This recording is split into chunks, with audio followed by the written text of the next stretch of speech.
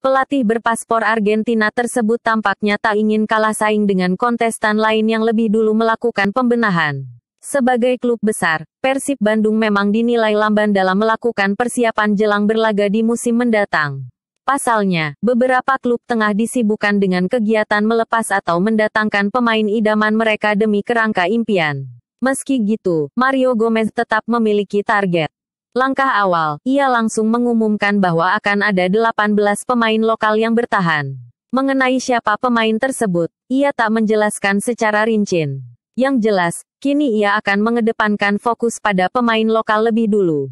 Kami akan bekerja bersama pemain lokal dulu, sisanya nanti ketemu sama bos dulu. Sementara menyoal pemain asing yang akan didatangkan, mantan arsitek Johor Darul Tazim itu menegaskan akan ada 2-3 pemain anyar.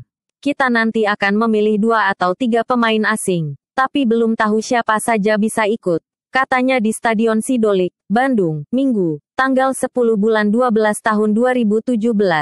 Lagi-lagi, Gomez enggan menyebut ciri-cirinya. Yang jelas, jika melihat skuad saat ini, Persib hanya dihuni oleh dua pemain berpaspor luar negeri.